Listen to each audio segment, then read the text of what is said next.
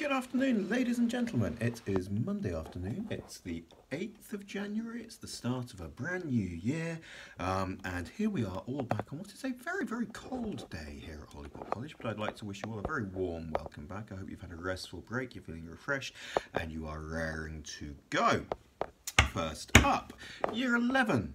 Uh, you have started your mock exams and well done on making such a good start. It's nice to hear so many of you talking about the revision that you've done over the holidays. I know if you've done that it will pay off. I also know there'll be a few of you who haven't done any and I imagine that will probably have a fairly predictable consequence. Now, if you're in year 11 and you're supposed to be taking GCSE PE, then you shouldn't be watching this. You should be with me now down at the sports hall. So any year 11s who are not yet down at the sports hall for GCSE PE, please head down there like right now. If you're in year 11 and you're not taking GCSE PE, then go up to study space as usual this afternoon, please.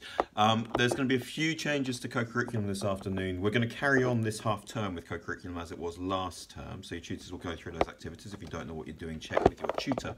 Um, but we'll have a new offer after after half term. There's going to be a couple of changes, particularly this week, because of mock exams shutting down the Sports and Drama Studio, though. So, this afternoon, listen carefully, years 7 to 10.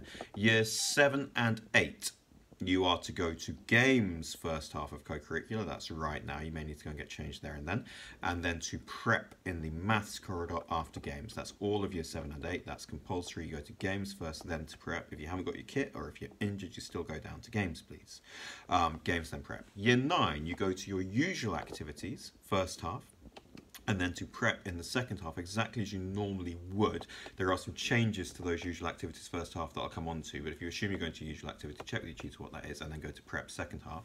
Year 10, you go to prep or activities first half, then games or prep second half. So year 10 sports team training will be second half, that's football and I think netball for the girls, football for the boys, netball for the girls. Anyway, that sports team training is second half for year 10, first half it's your usual prep or activities.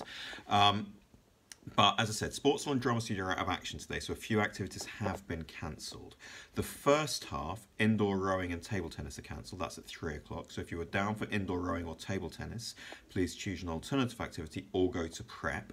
There will be an additional year nine prep sessions in rooms English 2 and English 3 first half. Normally there wouldn't be prep for year nine first half, but I put an additional session on in English 2 or English 3. So if you're supposed to go to indoor rowing or table tennis, go to prep or a different activity. That's first half.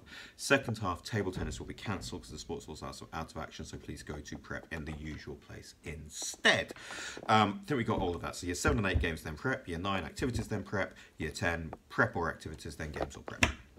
Um, lower sixth, it is week one for your prep duties, and I have sent that duty rota to all of you again via email and also to your form tutors. So please be there to support. Let's start the year as we mean to go on. It is week one. Um, please meet me in the Brunel Herschel Common Room. I'll tell you where to go. It shouldn't be arduous. You can bring some work, but we do need your support to keep everything. Thank you so much, lovely lower sixth people.